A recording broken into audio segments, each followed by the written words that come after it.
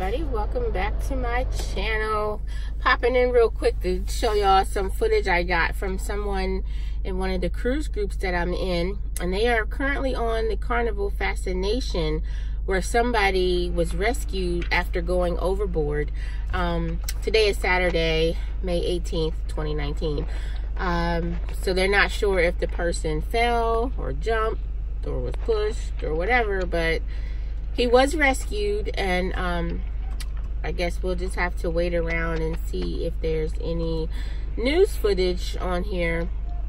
But thankfully they were able to react enough time to actually rescue him safely so there's not another casualty at sea.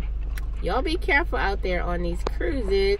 Let me know in the comments below if you've ever been on a ship and somebody went overboard. Um, I've had emergencies on ships where the helicopters came and rescued people, but never a man overboard when I was on the ship. So let me know. Or let me know, since he was rescued and this isn't a tragic video, leave a comment down below and let me know how you think he went overboard. Let's talk about it. See you in my next video. Bye.